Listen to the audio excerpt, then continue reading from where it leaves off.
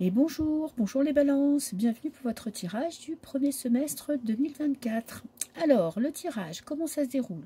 Arcade majeur, qui va vous donner un petit peu la tendance pour ces six premiers mois. Je vous dirai quel archange correspond à, à cet arcane. Et je vous lirai le petit laïus pour voir si vous, vous voulez le prier, l'invoquer euh, dans, dans vos prières, dans, quand vous avez des soucis, euh, dans quel domaine il peut agir. Ensuite, tirage à trois cartes avec ce que vous ramenez de 2024, de 2023, pardon, et ce début d'année 2023. Et en deuxième partie, je ferai un tirage sentimental. Alors, je vais chercher votre carte parce que bien évidemment, eh ben, je ne l'ai pas fait. RZ, donc on doit être avec Raziel, normalement. Je pense. RZ, RZ, excusez-moi. RZ, l'archange Raziel, exactement. Donc le magicien, il nous parle de quoi? Il nous parle d'action. Ok. Euh, vous avez tout pour réussir tout ce que vous voulez là cette année. Si vous avez des projets en tête, si vous avez envie de vous lancer dans une activité, dans une relation, euh, dans un déménagement, euh, partir à l'étranger, allez-y, foncez, vous aurez l'énergie et vous aurez de la chance. Tout est possible pour vous cette année. Alors, l'archange Raziel, qu'est-ce qu'il vous dit? Si Merlin l'Enchanteur était un archange, il serait Raziel, le sorcier du monde, des archanges. Raziel aide à comprendre tout ce qui a trait à l'ésotérique. Où est-ce que j'en suis? Oui, à l'ésotérique, à guérir les blessures des vies antérieures et à interpréter les rêves. Mais en tant que maître spirituel, il peut se montrer assez exigeant. Si vous faites appel à lui, il s'attendra à un travail acharné de votre part pour atteindre vos objectifs. Son nom signifie les secrets de Dieu, car on dit qu'il siège sur le trône de Dieu pour noter tout ce qu'il entend. Il apparaît dans les couleurs de l'arc-en-ciel, pareil à un prisme. Si vous, mettez, si vous vous mettez à voir des arcs-en-ciel partout, c'est sans doute que vous venez de vous trouver un mentor angélique. Ok, bah, c'est magnifique. Alors, qu'est-ce que vous ramenez de 2023 Qu'est-ce que j'ai? Le piège. Ouh, bon, on a quand même cette tasse de coupe qui parle d'amour, qui parle d'émotion. Vous êtes prisonnier de vos émotions. Bon, est-ce que vous allez réussir à vous en libérer? Je ne sais pas. Peut-être que vous êtes à fleur de peau. Euh, peut-être que vous avez l'impression qu'on ne vous comprend pas. Peut-être que vous avez fait une rencontre qui vous a bouleversé et qui n'a pas forcément pu aboutir parce qu'avec ce piège, euh, vous n'avez pas réussi à exprimer tout ce que vous ressentiez euh, durant cette année. Vous avez des choses à dire, vous avez des émotions à partager et elles sont là, elles sont bloquées. Bon, est-ce que vous allez réussir à les débloquer euh, cette année? Je vous le souhaite. J'ai le soldat, on a le combattant, vous allez tout faire pour y arriver. Et j'ai la reine de coupe. Ça va pas être facile, facile, hein, je vais pas vous mentir. La reine de coupe est inversée, donc on est quand même dans une... On contient ses émotions, on les garde pour soi. Pourtant, vous allez vous battre contre vous-même pour pouvoir arriver enfin à exprimer ce que vous ressentez. Et surtout à le dire aux personnes concernées. Alors, on peut être dans une relation de couple, mais pas que. On peut être aussi euh, dans les relations professionnelles.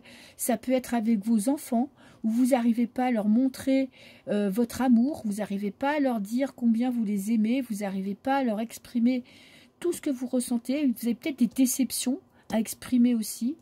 Mais là, euh, vous avez quand même le soldat, hein. c'est-à-dire que là, vous allez vous battre contre vous-même, vous battre contre les autres pour faire admettre ce que vous ressentez, pour exprimer ce que vous ressentez. Et j'ai la libération. Bah, vous avez vraiment un tirage magnifique. Vous voyez comme vous avancez, vous êtes prisonnier de vos émotions. Vous vous battez bec et ongle, vous mettez tout en place. Peut-être que vous allez voir un psy, peut-être que euh, vous faites un travail intérieur, vous vous écrivez un journal pour essayer de comprendre pourquoi, comment. Vous voyez Et là, en fin, de, en vous, vous arrivez à vous libérer. Et on a le 6 d'épée. Vous vous libérez du mental. Vous passez à l'action. Vous arrivez à ordonner vos idées. Vous arrivez à tout mettre en place pour pouvoir être clair. Peut-être que c'est un peu brouillon. Vous avez des choses à dire et sous le coup de l'émotion, vous n'arrivez pas à, dire ce que vous ressentez, ce que vous pensez. Vous êtes balance, hein. vous avez besoin d'équilibre. Vous avez besoin d'équilibre intérieur pour être bien. Vous avez besoin de la vérité pour être bien. Vous êtes quand même, avec la justice, on, recherche la vérité. Donc peut-être que vous vivez une situation qui, est, qui vous paraît injuste que vous n'arrivez pas à, faire comprendre à la personne en face de vous que ce n'est pas juste pour vous, que ce n'est peut-être pas juste pour elle. Et vous, vous allez tout mettre en œuvre pour y arriver. Juste un petit problème d'expression. Vous avez juste du mal un petit peu parfois à dire ce que vous ressentez. Mais vous allez y arriver. Parce que là, avec cette libération et cette euh, maîtrise du mental, vous allez arriver à ordonner vos idées, à mettre tout ça en place pour faire comprendre à cette fameuse personne ce que vous ressentez et pourquoi cette situation n'est pas juste pour vous. Et peut-être n'est pas juste pour cette personne. Donc, euh, ça va pas être des mois faciles. Vous allez devoir vous battre contre peut-être des préjugés, contre vous-même, contre une personne, mais vous allez obtenir gain de cause. Vous avez vraiment un très beau tirage. Hein. C'est pas le plus facile, mais c'est pas le plus pourri. Et en tout cas, vous allez au bout de vos idées pour arriver à faire valoir vos droits. Franchement, c'est magnifique. Alors, côté sentimental. Je vais prendre deux petites cartes de ce tarot.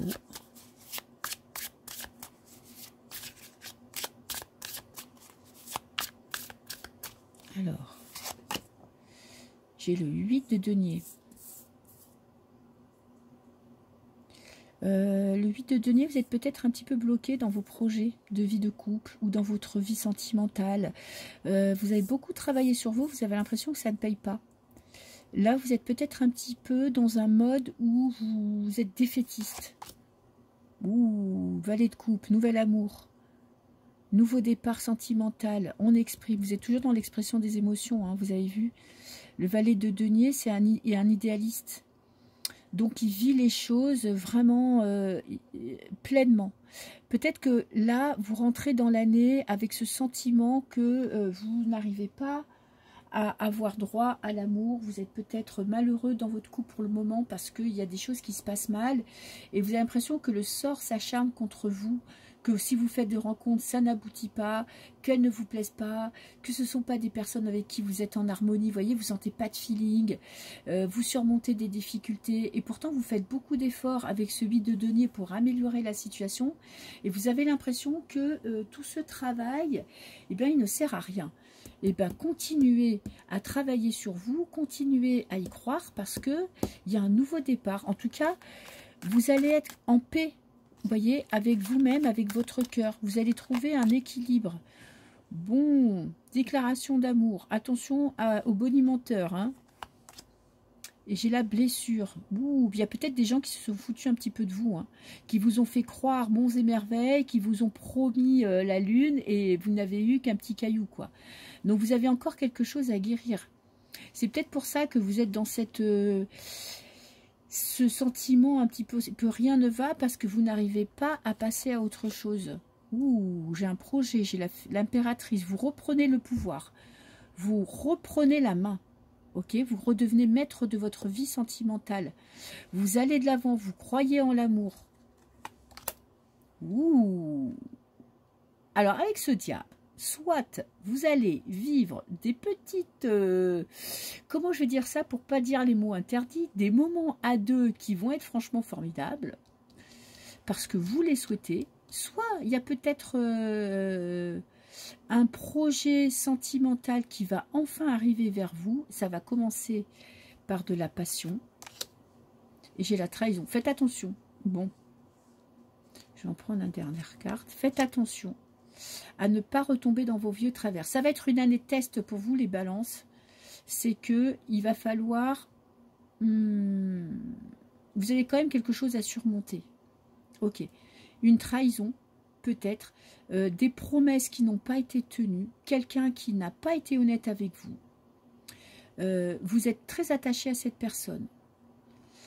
Il y a des liens à couper. Il y a, y a, c'est comme si vous étiez sous emprise, ok Parce que euh, peut-être que vous avez l'impression que vous ne méritez pas mieux. Vous vous dites que après tout, bah, ça ou rien, c'est mieux ça. faites confiance à cette, à ce valet de coupe, à hein, cette demoiselle de coupe. Faites confiance à vos émotions. Ne vous sous-estimez pas. J'ai comme l'impression que vous avez pris votre parti, que cette situation ne changerait jamais. Voilà. Que, euh, regardez ce que j'ai là. Tenez bon. N'ayez pas peur de vous battre pour ce que vous voulez. N'ayez pas peur de euh, prendre des décisions radicales. N'hésitez pas trop longtemps parce que je pense que vous êtes en souffrance. Vous faites peut-être passer le bien d'autrui euh, au-dessus du vôtre et c'est dans l'histoire, c'est vous qui souffrez. Donc, il est peut-être temps de vous mettre, vous, ou de vous mettre en priorité, les vérités. Prenez une décision, c'est la carte du jugement. Hein. Prenez des décisions quant à euh, la relation existante. franchement, il va falloir faire... Euh, vous êtes balance, là, il va falloir être balance à fond. quoi. Par contre, euh, ça ne sera jamais la meilleure décision. Vous ne pourrez pas contenter tout le monde, donc il est temps de vous faire passer en priorité. Ne désespérez pas il peut y avoir une rencontre très importante. Et souffrir en silence, c'est exactement ce que je dis. Vous êtes euh, en position de... Euh, vous vous mettez en position d'infériorité, de faiblesse. Vous avez l'impression que ce que vous êtes en train de vivre est insurmontable, que vous n'arriverez jamais à être heureux. Euh, soit vous êtes en train de vivre une trahison et vous avez l'impression de jamais pouvoir vous en sortir, soit vous avez vécu quelque chose de vraiment dégueulasse et vous êtes englué dedans parce que euh, vous avez tellement souffert que vous n'arrivez plus à voir le côté positif de la vie.